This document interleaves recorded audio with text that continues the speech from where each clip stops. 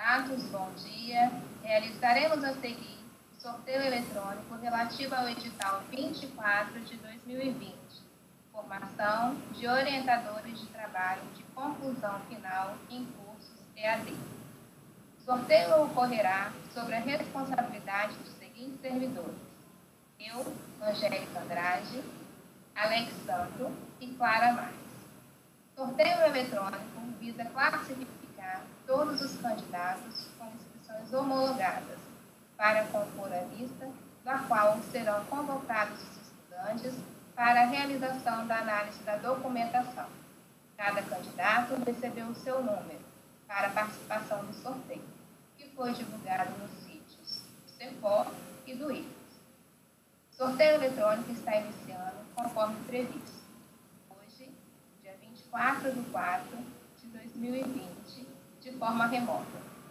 Conforme o item 6.6 do edital, em virtude da pandemia causada pelo coronavírus, o sorteio poderá ser realizado de forma online, sendo gravado e disponibilizado nos sítios do CEPOL e do IBES no link correspondente ao presente processo seletivo.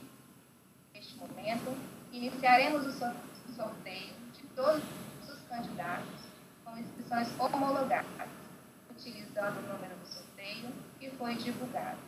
E em seguida será apresentada a semente, para que esta seja utilizada para futuras conferências. Daremos início agora ao sorteio do edital 24 de 2020. 444 são os inscritos para 62 áreas. Vamos gerar a lista.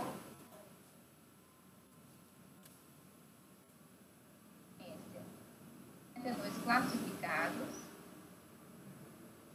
Logo em seguida, os suplentes. No final da listagem, aparece o número da semente. Resultado preliminar do sorteio estará disponível na página do processo seletivo. Tenham um bom dia a todos.